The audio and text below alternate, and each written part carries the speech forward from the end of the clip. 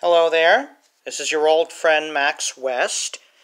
Some of you may heard of me. I draw comics. Yeah, see, there's a shot of my uh, drawing table here. I'm old school. I work traditionally. There's pens, pencils, inks, various decorations here on my table. You know, some of the works I've done, I've created Sunnyville Stories as well as its spin-off, Dominic and Claire.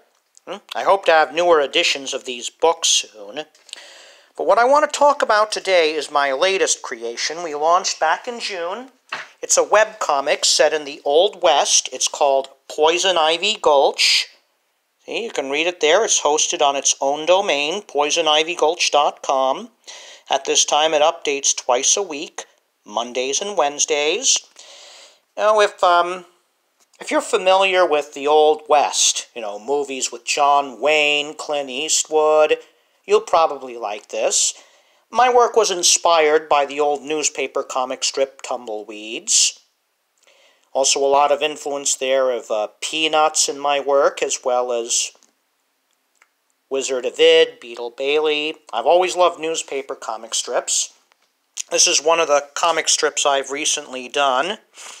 The character there, this is Lotta Dohler. She's a female gambler. She's the star of the series and lives she lives in the small town of Poison Ivy Gulch, hmm, hence the name there. Yeah, she's a professional gambler, likes playing against various opponents. Okay, this is another one of the characters. This fellow is Marshal Art. He's the law in Poison Ivy Gulch, as well as probably the only sane man.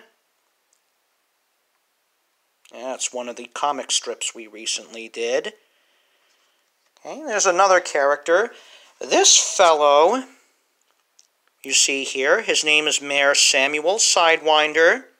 He's the mayor of Poison Ivy Gulch. Hmm. Last merchant, huh? So does this make him a humanitarian? Well, anyway, if you, we hope to have a book of these out in 2022.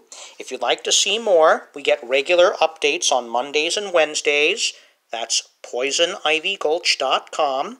If you'd like to send me fan mail, such as letters and such, you can write to Poison Ivy Gulch in care of this address, Different Mousetrap Press, at 1100 19th Avenue North, number 108, Unit J, Fargo, North Dakota, 58102 2269.